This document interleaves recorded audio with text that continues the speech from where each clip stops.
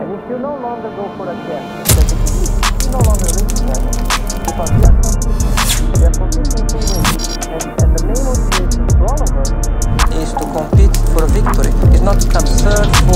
This is the Fanatec ClubSport F1 Esports V2, the company's officially licensed Formula 1 esports rim, which despite carrying the F1 logo, is surprisingly affordable at only $220. Although it's not as shiny and good looking as its older brothers in the Fanatec Formula style lineup of rims, the F1 Esports V2 rim packs a mighty punch and for its price point, I genuinely think it may be the best bang for your buck wheel in the Fanatec ecosystem.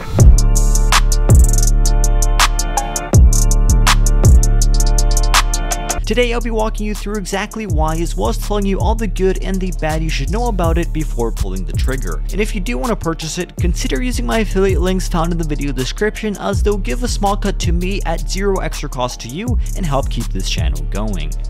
Looking for great deals on sim racing hardware? Make sure to check out simspots.com where all of the best deals on sim racing, PC, and gaming peripherals are posted daily. Literally, the site is completely free to use, free of ads, and just lets you know of discounted sim racing hardware for you to save some cash. Get into sim racing or upgrade your gear today at simspots.com. Designed specifically for F1 esports, this rim isn't as flashy and decked out as many others in the market. Simply put, it's got a conservative yet clean design with little visible bells and whistles. I say visible because one of the aspects of this wheel that caught me most by surprise was its vibration motors that are built into the grips to add a tactile feedback in supported games. This is something that I've never really seen before and it caught me totally by surprise given the price point of this rim. That said, it's important to note that the full functionality of this feature is only guaranteed on PC and may or may not work on PlayStation 4 and 5 consoles. As per Xbox, you're out of luck completely as this wheel is not at all supported in those consoles. Other things that left me pleasantly surprised were the genuine Alcantara grips which feel amazing, the bright rev and flag LEDs, and the blue telemetry display which can be used for many different things, notably for making force feedback adjustments on the rim itself.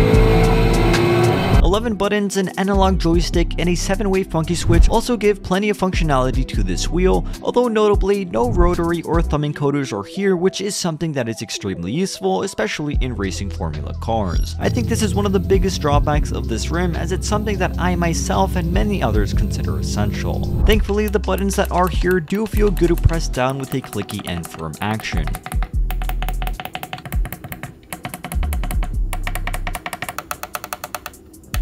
One more thing I was very happy to see was an included set of custom button caps for you to customize this wheel, although what the button caps themselves feature could most definitely use some improvements. Like for example, instead of a horn or a seat adjustment icon, I'd much rather see something with actual use, such as traction control or ABS up and down icons. Being an entry-level wheel from Fanatec, the faceplate is made from metal, with the rest of the casing injection molded plastic. The color palette used on the buttons is certainly controversial. In my opinion, it gives a bit of a toy-ish look to this rim, but at the same time it looks pretty fun. Of course, that's subjective, so as always let me know your thoughts on the look of this wheel down in the comments.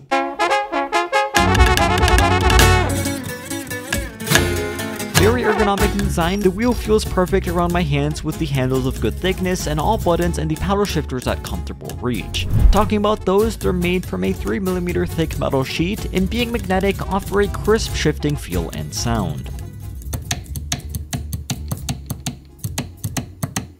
It's worth noting that the paddle shifters can be completely upgraded with the Fanatec Advanced Paddle module, which is sold separately. This would add better feeling paddle shifters with even more functionality, but it would come at a cost. Another thing that can be upgraded will be the quick release system. Purchased as a standalone rim, the F1 Esports Formula wheel comes with the all aluminum QR1 quick release system at no extra cost. However, in this video, I'm using the brand new QR2 Pro, and if you're curious, you can watch my full review on the new Fanatec QR2 systems right here. In-game, I have almost no complaints regarding the performance of this rim. Of course, the Alcantara handles pretty much force you into using gloves to preserve their look and feel, but other than that, it's smooth sailing out on track. Well built, no flex was felt at any point, and the small size and low weight of this wheel, fitted with vibration motors on the handles, added to the immersion as I could clearly feel everything transmitted from my wheelbase and even more.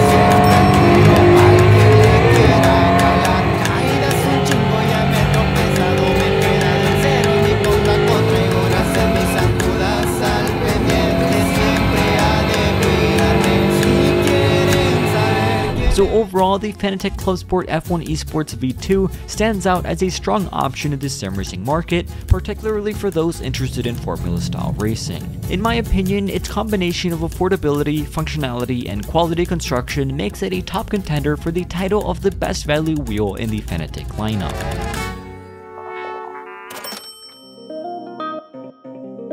While it may lack some of the flashier features and aesthetics of its higher end counterparts, it more than compensates with its solid performance, tactile feedback, and ergonomic design. The big catch here will be the lack of rotary or thumb encoders which do hinder its overall functionality, but that's certainly a bigger deal to some than to others. So whether you're a seasoned sim racer or just starting out, I believe this wheel is a wise investment that promises to enhance your racing experience. Remember that if you do decide to purchase it, using the affiliate links in the video description will help me keep this channel going and pay my tuition at no extra cost to you, so a big thank you to all of you who do. And with all that said, this has been my review on the Fanatec F1 Esports V2 Rim, and as always, thank you all for watching, stay safe, and have a fantastic rest of your day.